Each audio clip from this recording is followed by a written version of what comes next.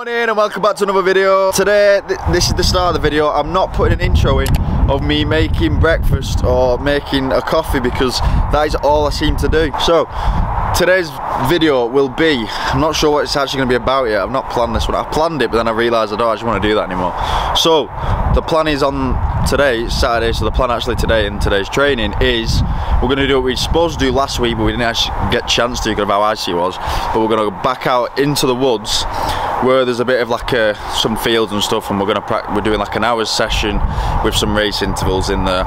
So that'd be three 10 minute race intervals. Um, and they've got a bit like race pace so it's got to kind of replicate a race. Um, so yeah we've got a, got a bit of a course set up.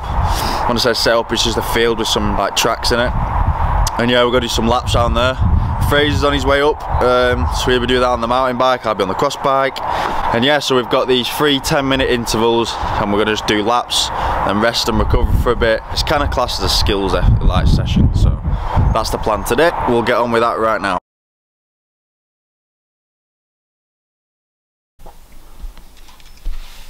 There is the bike for today. Uh, I put a bottle cage on there last night, so I can't just put a drink in it, that's to go in my back pocket. Uh, I've also added a Wahoo mount because now I've actually got a Wahoo, which is uh, more on that in another video. But yeah, got a Wahoo. Basically, Garmin died. It's one of my old Garmins that I've had for years for when I used to race, and it just kind of was not having it. So um, yeah, thanks to the Bicycle Lounge, at the Bicycle Lounge in Ormskirk Bike Shop, hooked me up with a really good price on a new Wahoo. So um, yeah, thanks to Matt. Yeah, we're going to test that out today. I've been testing out for the last few days on the turbo. Um, and yeah, it seems to be a lot better already. So now we're going to test it out on the, not the road, on the bike outside. Yeah.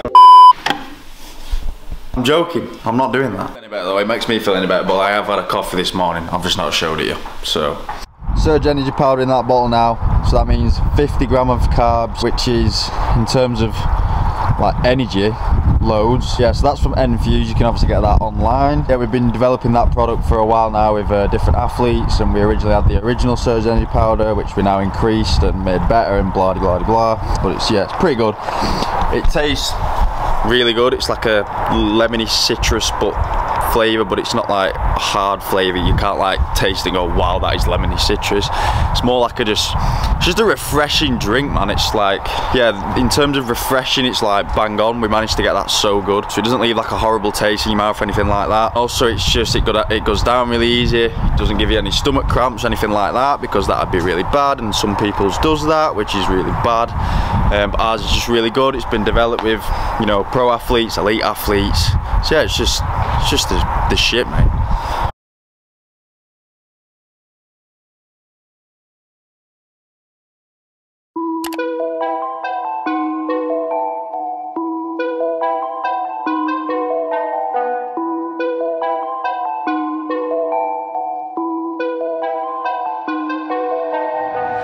Nowadays, nothing really is enticeful. Only one of me and nobody's like me. Phone ringing and I tell him it's I got wifey on bling and she freeze.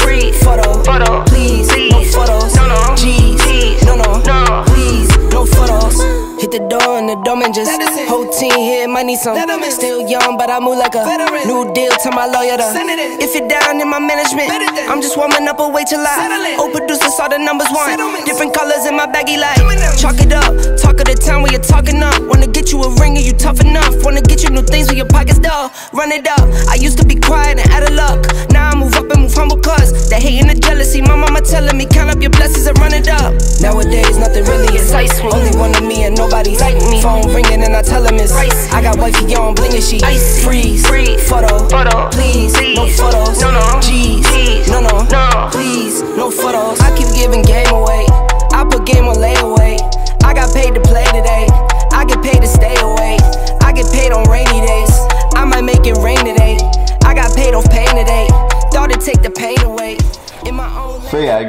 Two slices of ham, bit of cheese, protein shake. Nice. So that was actually supposed to be an omelette and it didn't go it didn't go right, it just ended up being scrambled egg. But it tasted decent. Um, I finished that now. How much protein would be in that? Uh, you're looking about 47 and a half in the actual meal, which was that bit. um, 47 and a half gram of protein, and then you've got 25 gram of protein in that. So yeah, quite a lot, quite a good yeah chunk of protein in that. So that'll be good for recovery.